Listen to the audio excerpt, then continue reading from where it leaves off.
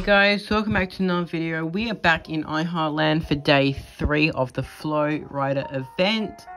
If you haven't, make sure you go and collect day 2 before you do this in day 1.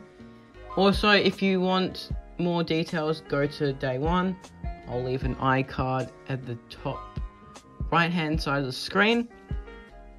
But all you have to do is we literally have to do what we have been doing for the past two two days. Just go around the house, collect letters, and that's that's pretty much all there is to it. It's just as simple as going into a house, running around and collecting letters.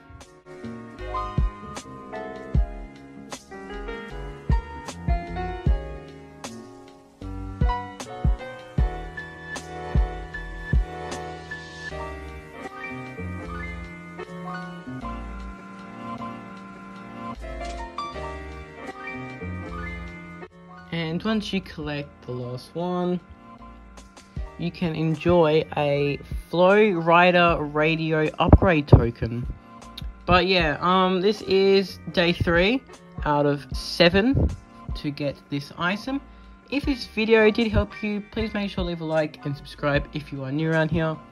Make sure to turn post notifications so you know the letters for day four. But anyway, I'll see you guys in another video. Bye bye.